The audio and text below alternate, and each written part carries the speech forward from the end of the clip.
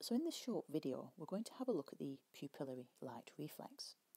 So this is the reflexive action of the pupils constricting in response to a light stimulus. Now there's two parts to the pupillary light reflex.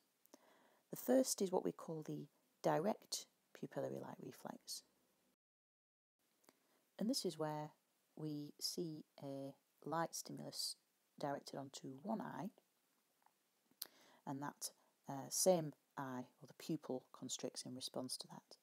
And this is known as the direct pupillary light reflex. But what we also see is that even if we direct the light into the right pupil, so let's label this uh, the right eye, and this the right eye, what we also see is the opposite eye, so the eye that we didn't actually shine light into, also constricting.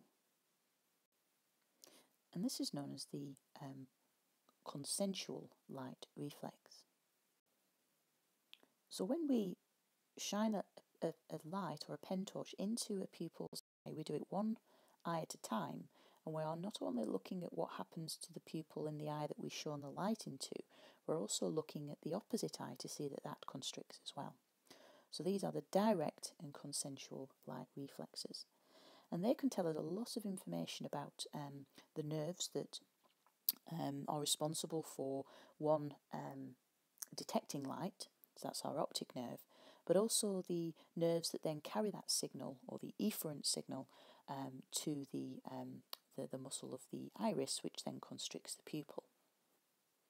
So there are two arms to this light reflex, and we'll call them the afferent, which is the sensory uh, part of the reflex, reflex and the efferent, which is the, the output or the, the motor arm of this reflex.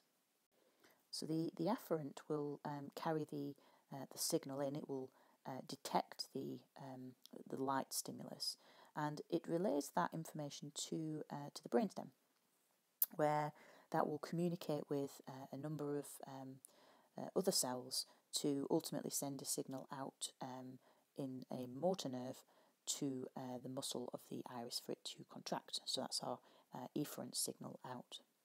And there's two cranial nerves um, responsible for this pupillary light reflex. The one that senses the, the light stimulus is our optic nerve. That's our cranial nerve 2. The sensory signal detected by the photoreceptors in the retina of the eye will relay the stimulus to the brainstem and the motor or efferent signal um, is relayed on um, essentially the parasympathetic fibres associated with the oculomotor nerve or cranial nerve 3. So remember this is a reflex, it's not under conscious control, it just happens without us even realising or thinking about it. So it's the parasympathetic fibres um, or the autonomic fibres that um, are associated with the um, oculomotor nerve that's responsible for this um, contraction of muscle in, in the iris to constrict the pupil. Now, given that we've already highlighted that by stimulating one eye you actually get uh, a response in both pupils, that suggests that perhaps at the level of the brainstem, when this signal comes in from one eye, that actually the information is relayed to the motor um, output um, of the oculomotor nerve to both pupils. So we see not just a connection between the right eye, for example, and the um, motor output to the right eye, but we also see a connection to um, the motor or efferent um, output to the opposite eye as well.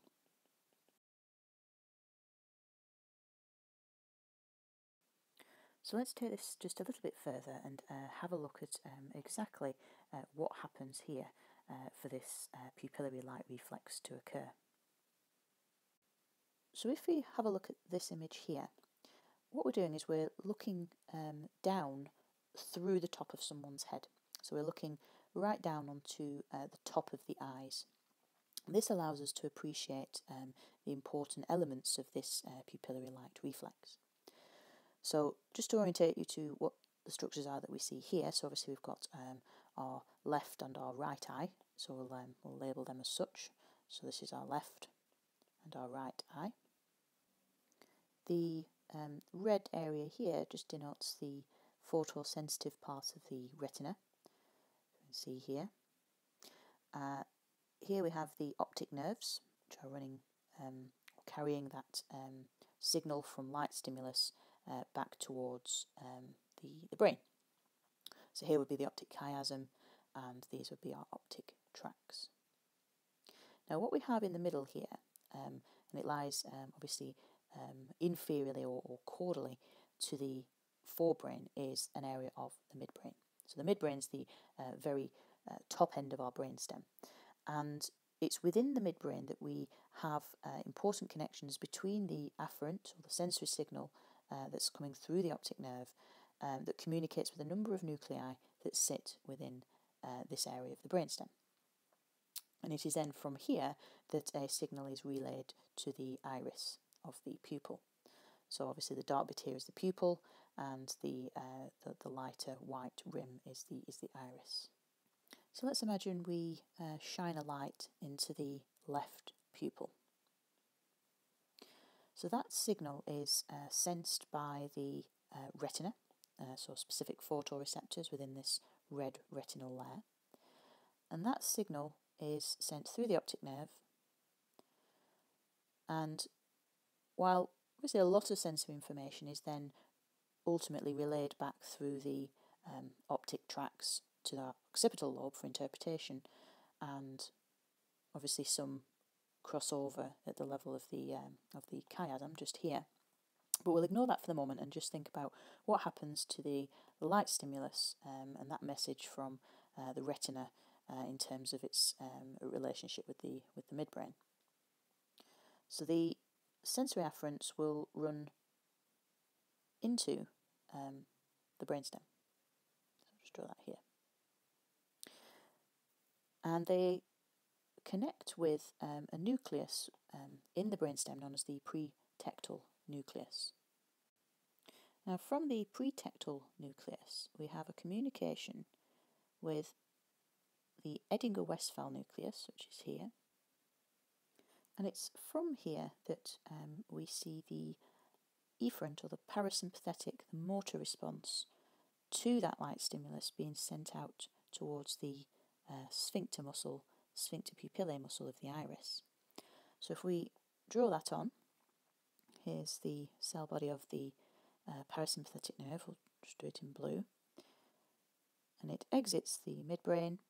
Um, it will pass through a parasympathetic ganglion known as the ciliary ganglion, where it synapses onto a second uh, postganglionic parasympathetic, but ultimately reaches the um, the muscle of the of the iris.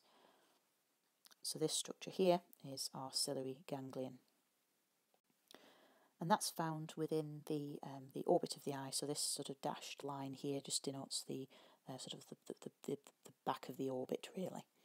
Um, so in addition to the parasympathetic uh, or the motor signal uh, being relayed to the muscle of the left pupil, we also have communication from the pretectal nucleus in the midbrain here to the parasympathetic nucleus on the opposite side.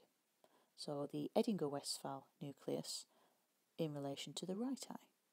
And we see then from this nucleus the parasympathetic output to the right iris, just here. So even though we stimulated the left eye and that signal was sent to um, nuclei in the midbrain, the brainstem on the same side, we also have a communication with the um, parasympathetic nucleus of the of the opposite side, the Edinger-Westphal nucleus of the opposite side, and that's why we not only get our uh, direct pupillary response, but we also then see a consensual pupillary uh, response as well. So in uh, reaction to a single light stimulus to one eye, we see both pupils constricting uh, simultaneously. Just to finish this um, uh, sort of picture, of fill in the, the, the, sort of final last detail, is that these uh, parasympathetic um, nerve fibres um, run with the ocular motor nerve. So they hitchhike onto the ocular motor nerve. So the efferent arm of the light reflex, both the um, consensual and the, uh, sorry, the consensual being this side, and the direct um, are carried on the um, ocular motor nerve, cranial nerve 3. So the parasympathetics that are, are carried with that. Uh, and that essentially um, covers our pupillary light reflex and why we get a direct and a consensual reflex uh, in response to a stimulus in just one eye.